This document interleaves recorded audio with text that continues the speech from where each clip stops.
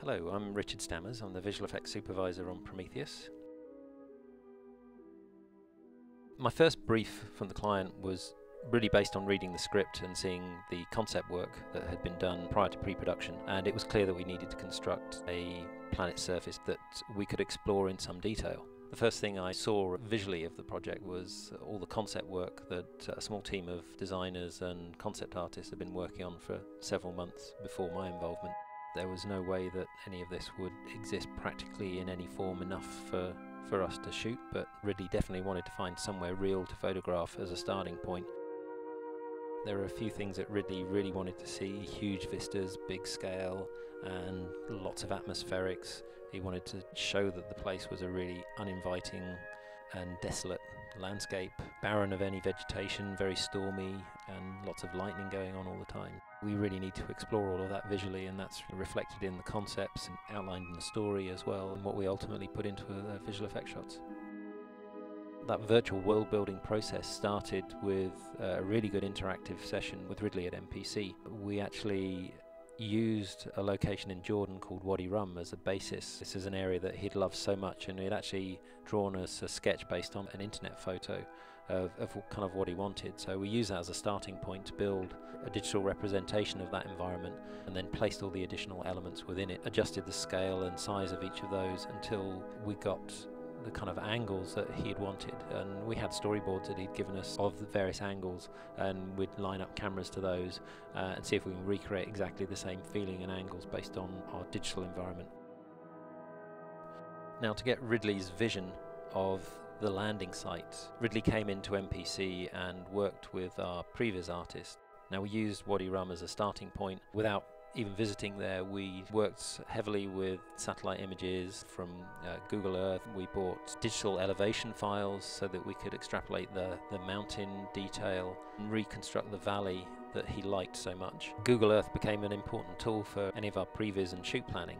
Fact, we were able to do virtual recce's of the locations that Ridley wanted us to consider from the comfort of our own office. We were able to literally fly through the valleys that he was particularly interested in and line up cameras based on those. There were times when Ridley had been on some initial tech scouts with Arthur Max, the production designer, and they came back with some photos of locations they liked, and we were able to use GPS positioning that they'd given us with their photos and line up to pretty much exactly the same framing within Google Earth of what they'd photographed. So as we got into starting previs, we could actually use those photographs with the real scale references and line those two things up to make the whole process more accurate.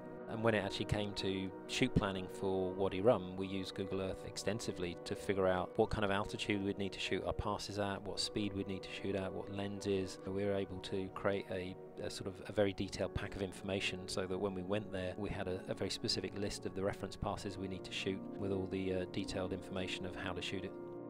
Wadi Rum wasn't the easiest place to access, and it was felt that it was probably unlikely that we would ever take a full shooting crew there. As a result, we were going to have to create uh, a digital representation of that. We felt that if we could capture a certain amount of Wadi Rum for real, then we could use that as a basis for our digital construction that we were going to do.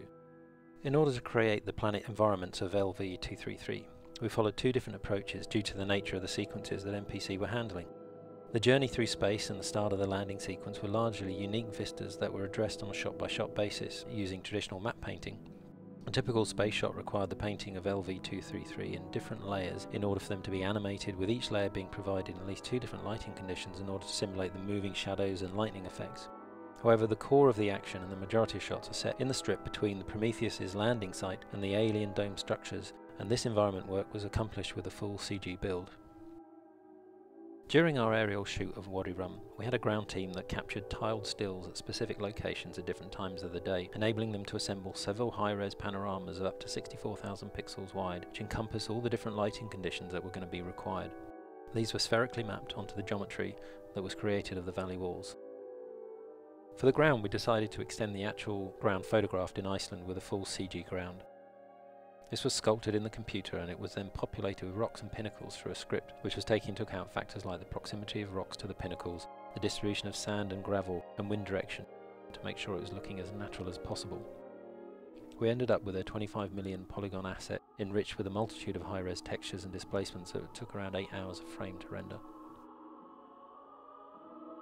For the engineer's dome and surrounding walls, Ridley wanted them to feel eroded enough to give a sense of ambiguity as to whether they were an alien creation or a natural formation. So we sampled some of the amazing textures that we found on the valley walls of Wadi Rum and tried them in various configurations until we got a really nice balance.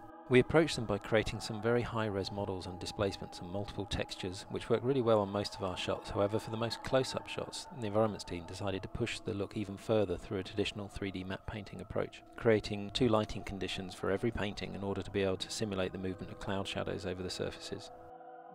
When we were shooting in Iceland with the actors, wherever possible, we would reference previs of what the landscape was going to be, any digital elements that were going to be in the shot, like the spaceships. We tried to have a reference available of that, and wherever possible, we would mark out some of the larger elements in the actual landscape. So, for instance, the silo where the juggernaut rises out of, we'd mark out a huge circle where that would be and use that as a reference for the camera operators to shoot with.